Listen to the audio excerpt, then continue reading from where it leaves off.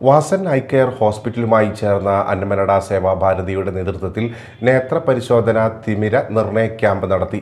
Retired government medical officer Shyamala Satheesan ഉദ്ഘാടനം ചെയ്തു. Annamanada Sevabharathi president O D Viswanathan അധ്യക്ഷത വഹിച്ചു. ഡോക്ടർ ദേവസുമൻ നേത്ര സംരക്ഷണം ചികിത്സാ രീതികൾ എന്നിവ വിശദീകരിച്ചു. അന്നമനട സേവാഭാരതി സെക്രട്ടറി അനീഷ സുനിൽ ആരോഗ്യ വിഭാഗം കൺവീനർ ലേഖ ജയകൃഷ്ണൻ സജികുമാർ പ്രേമലത വൃന്ദ കുമാർ എന്നിവർ നേതൃത്വം നൽകി.